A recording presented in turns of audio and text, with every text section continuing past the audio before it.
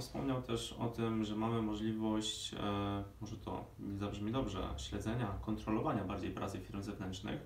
E, na jednym z wywiadów wspominał Pan e, o możliwości systemu, które pozwalają na nadzorowanie tych prac, odejście ludzi od stanowiska pracy, zapewnienie właśnie tego bezpieczeństwa poprzez pewne wymagane kroki, które się pojawiają podczas wykonywania zadań. Ludzie, którzy nie mogą odejść od danego stanowiska. E, Dodatkowo ta funkcjonalność, e, o której też Pan wspominał, chociażby robienia zdjęć. Ym, Chciałbym wiedzieć więcej na ten temat, jak to wygląda, na jakiej zasadzie i czym jest to też uwarunkowane, prawda? Ta ochrona przedpożarowa, o której Mhm. powiedzieliśmy na początku, no właśnie to, to z, z niej to w zasadzie wynika. Jedna z najważniejszych prac, które my monitorujemy na, na, w całym systemie, to są prace prowadzone z użyciem ognia. W ich założeniu jest, jest to, żeby prace przez firmę zewnętrzną w lokalizacji związanej z ogniem były wykonywane przez 100% czasu. To znaczy od momentu otwarcia pozwolenia nie może być takiej sytuacji, w której to miejsce nie byłoby nadzorowane. Wynika to z wielu, z wielu y, względów. Po pierwsze, ten monitoring najlepiej, żeby wykonywała firma zewnętrzna, ponieważ ona te prace prowadzi i ona ręczy za to, że będą wykonywane y, w najlepszym, y, jak najbardziej profesjonalny sposób. Więc y, to jest jedna kwestia. A druga wynika z samego faktu mm, zaproszenia ognia i jego możliwego y, objawienia się na linii, czyli że, że może się zapalić. I zwykle Mhm. to się odbywa y, po kilku, nawet kilkunastu minutach od momentu wykonywania jakiejś czynności związanej z ogniem. Kto pracował w warunkach takich, gdzie jest dość dużo oleju na zakładach, fabrykach, w różnych miejscach, to wie dobrze, że ta gaśnica, czy nawet jakaś y, butelka z wodą w pobliżu jest, y, co prawda wody nie zawsze się używa, ale dobrze mieć y, pod ręką. Tam, gdzie można, jak się tylko zaczyna tlić, to człowiek jak jest, czuje ten zapach, widzi co się dzieje i to ugasi. I w zasadzie po to jest ten monitoring 100% czasu i ten nadzór, żeby mieć pewność, że w miejscu pracy jest ktoś, kto ugasi pożar. Gdyby paręnaście sekund później doszedł ktoś do miejsca, w którym już się zaczyna tlić pożar, może to już być za późno. Może doprowadzić do spalenia się maszyny albo nawet jeszcze gorszych e, sytuacji. Czyli tutaj w tym wypadku, jeżeli ktoś się po prostu e, odejdzie od stanowiska pracy, tutaj właśnie mm, chciałbym wspomnieć o tych latarniach i tej Mhm. geolokalizacji. Jeżeli ta osoba, która musi wykonywać swoją pracę na danym obszarze, ona go opuści, czy ona dostanie jakieś powiadomienie, że coś robi źle, że... No to, są, to są wymagania, że tak powiem, już y, z przepisów Mhm. wynikające właśnie, że y, jeżeli, jeżeli prowadzimy pracę z użyciem ognia, jest wymagany nadzór y, w tym właśnie miejscu pracy. Jeżeli ta osoba opuszcza, a powinna tam być, to y, dzięki właśnie naszym radiolatarniom one widzą, że osoba opuszcza dane stanowisko i wtedy oprócz tego, że ta osoba jest y, informowana o, o tej sytuacji, że y, pozostawia miejsce bez ochrony, to osoby, które są odpowiedzialne za ten obszar, również dostają taką informację, że, obszar jest pozbawiony nadzoru.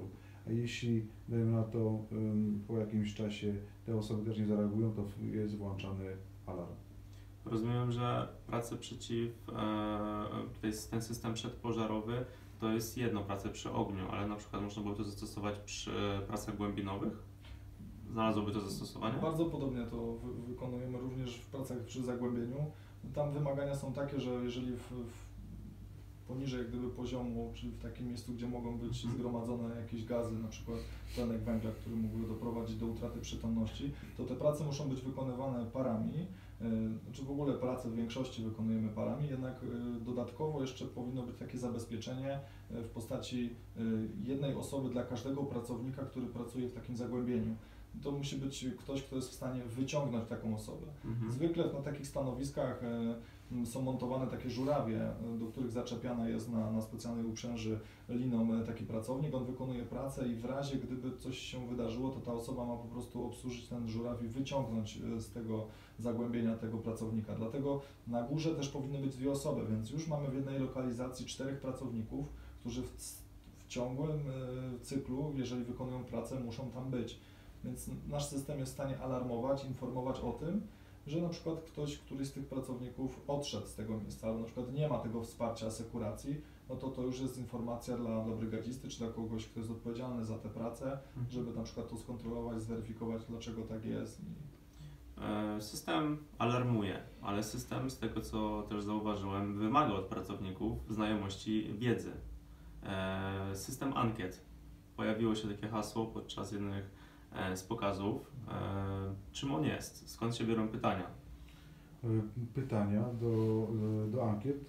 Są to e, standardowe pytania, które są dostosowane do każdego typu e, prac i one są stosowane obecnie w papierowych pozwoleniach, jednak my e, w naszym systemie zastosowaliśmy metodę taką, że te pytania są wybierane losowo, także pracownik musi poświęcić tam odpowiedni czas, kilkanaście sekund na to, żeby przeczytać pytanie i udzielić prawidłowej odpowiedzi. Także nie postępuje wedle schematu, tylko musi skupić jednak uwagę na tym, żeby y, udzielić właśnie prawidłowej odpowiedzi i co za tym idzie, przyswoić sobie y, jeszcze, mm, że tak powiem, bardziej tą wiedzę dotyczącą, jakie są niebezpieczeństwa z wykonywania Na papierowym, na papierowym formularzu można łatwo się nauczyć na pamięć wypełniania schematu.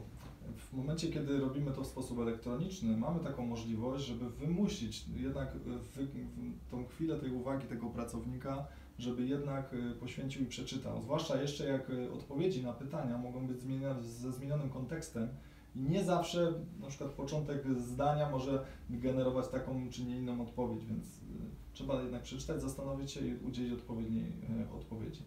Wiemy w tamco. Dobra. Mm, Dobrze, kontynuując tutaj jeszcze tą e, przechadzkę po różnych działach firmy, mm, chciałbym jeszcze wrócić do tematu kadr.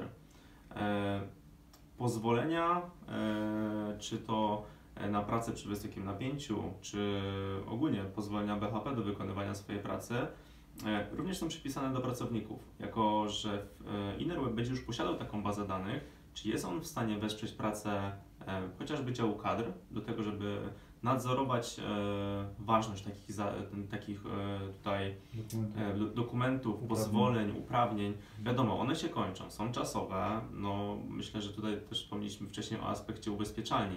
Jeżeli ktoś by tego nie miał prawa do wykonywania dan danych czynności, a- je wykonał i jeszcze nie daj Boże sobie coś zrobił, no to może być problem. Więc tutaj się pojawia pytanie, czy w kadrach też możemy lekko wesprzeć tym tutaj kadry? Uważam, że tak, ponieważ w procesie rejestracji podajemy wszystkie dokumenty, które y, dotyczą naszej osoby, czyli uprawnienia y, wraz z podaniem daty, do kiedy one są ważne. Także właśnie czy dział CAD, czy dział BHP weryfikuje to i y, akceptuje, czyli dopuszcza systemowo pracownika z takimi uprawnieniami do dalszej pracy w zakładzie. A jeżeli zbliża się data ważności y, Około danego- 30 dni, czyli tak, miesiąc przed końcem. to jest, jest pracodawca informowany o tym, że właśnie tego pracownika należy y, oddelegować, żeby przeszedł ponownie y, testy, którego, które przedłużą jego y, uprawnienia. No to tutaj teraz, jeżeli już możemy e, mieć tych pracowników, e, na jednym też właśnie z pokazów były pokazane opaski mm, na nadgarstki dla pracowników.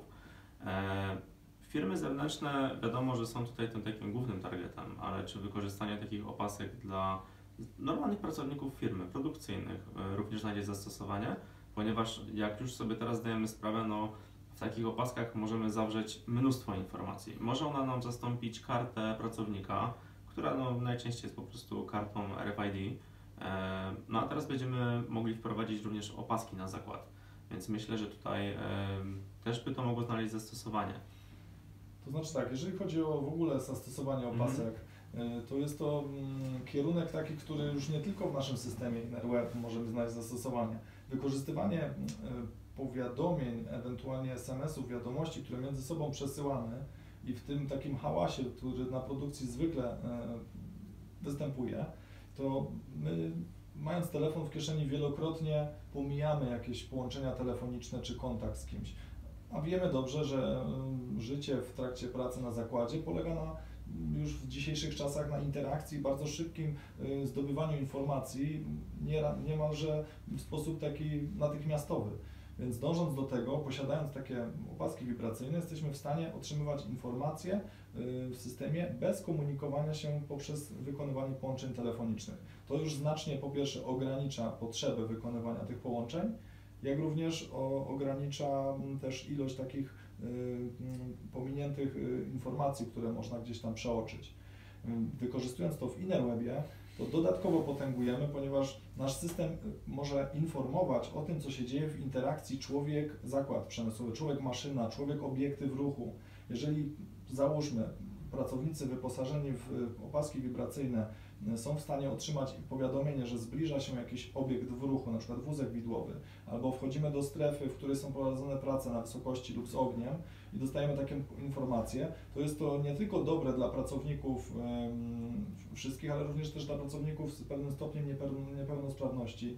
Na przykład y, osoby, które są głuche, mogłyby dostawać informacje w sposób właśnie, które odczują na Wibracji. ręce w postaci wibracji i będą wiedzieć, że coś aktualnie się dzieje, albo weszli w jakąś strefę, albo zbliża się jakiś obiekt. Mhm. To poszerza znacznie większe, więcej możliwości dla takiego zakładu no i poprawia bezpieczeństwo e, ludzi pracujących na nim.